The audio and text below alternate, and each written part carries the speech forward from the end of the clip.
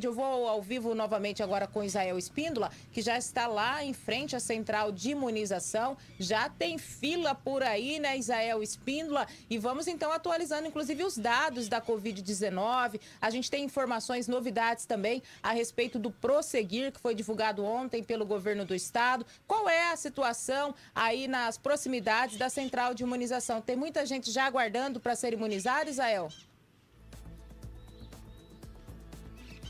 Bom dia, Ana. Bom dia a todos. Pois é, estou aqui na central de imunização porque hoje começa a vacinação para as pessoas de 21 anos, mas na semana passada foi sua vez, os 24, agora chegou a minha vez, de 21 anos, tomar aí a primeira dose. Ana, brincadeiras à parte, porque é um momento muito emblemático nessa campanha de imunização, porque começa a campanha, avança na juventude aí, então as pessoas com 21 anos já podem comparecer aqui à central para tomar a primeira dose da vacina contra a Covid-19, viu, Ana?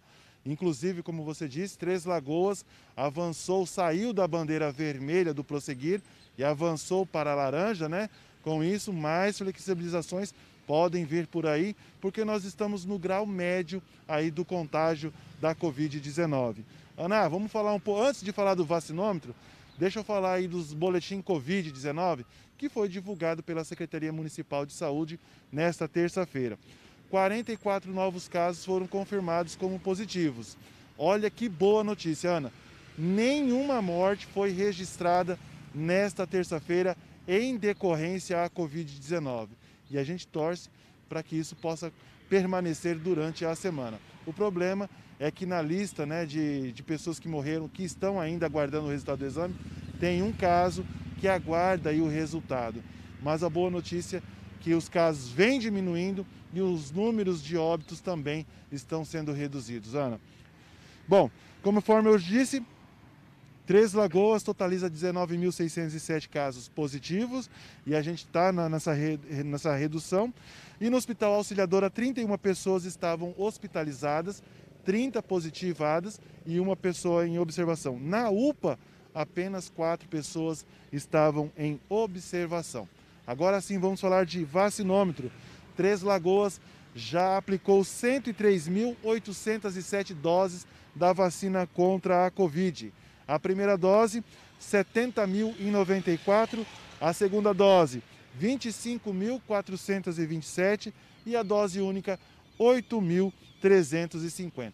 Eu vou sair um pouco da tela, pedir para o nosso repórter cinematográfico Edson Carlos mostrar a fila que hoje começa a campanha de vacinação das pessoas de 21 anos mais e a fila já é grande como todos os dias que a gente vem aqui mostrar quando começa a campanha de um novo grupo, mas a central abre logo mais às 7 horas e aí sim já começa a vacinação e logo essa vacina começa a andar e isso é muito importante, né, Ana?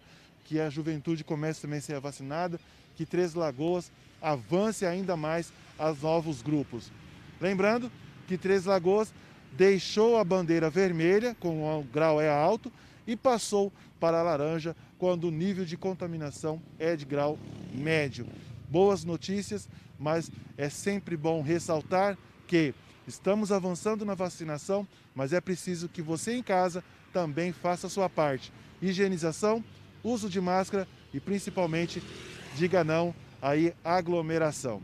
Volto com você nos estúdios, Ana.